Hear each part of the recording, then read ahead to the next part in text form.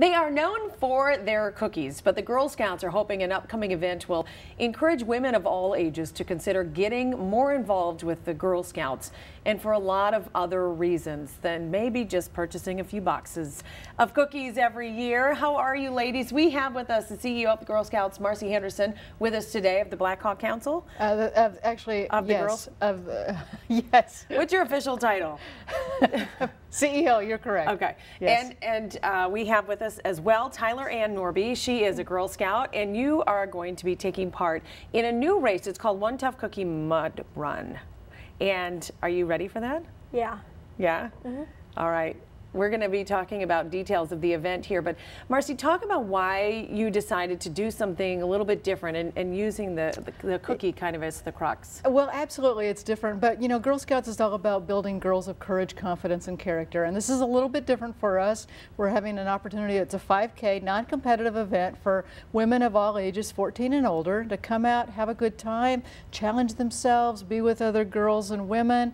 Um, we have a we have a goal of a thousand a thousand people to participate. So we're going to have fun. We're going to support a great cause. It's all being organized by um, a group of dedicated women volunteers. I was going to say let's let's talk about that. I know that right now you've got uh, women veterans Yes. from Operation Iraqi Freedom And- and that they- are designing the course. They are, for as we speak, yes. Okay, so that's happening. You also have National Guard members They who are are designing some sort of an obstacle course for girls. The race is actually, we want to point out, it is for girls 14 and older. Yes.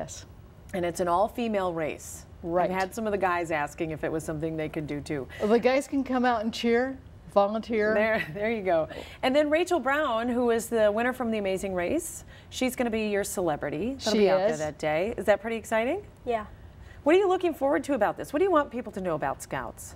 Um, People that maybe haven't taken a look at Scouts in a long time. oh, well, it's a great experience to meet new people and do new things that you might not have been able to try before. Are you nervous about it? No. No? Or do you No. run? Do you? What, what Uh, are you going to be doing? run, I Crawling? swim. Um, we're going to be going through different obstacles like a cargo net, a slip and slide. We're going to, It's kind of what Girl Scouts Yeah. is all about, is pushing yourself to do something that you might not otherwise have done. And Taylor Ann's a great example of, you know, confident, knows she can do it, get excited about making it, making it work.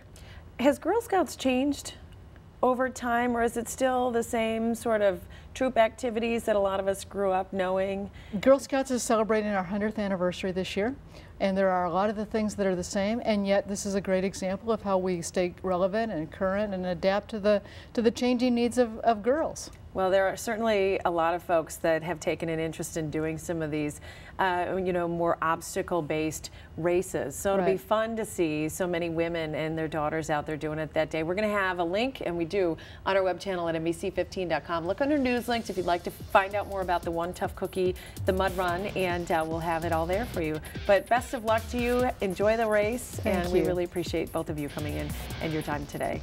Thanks so much.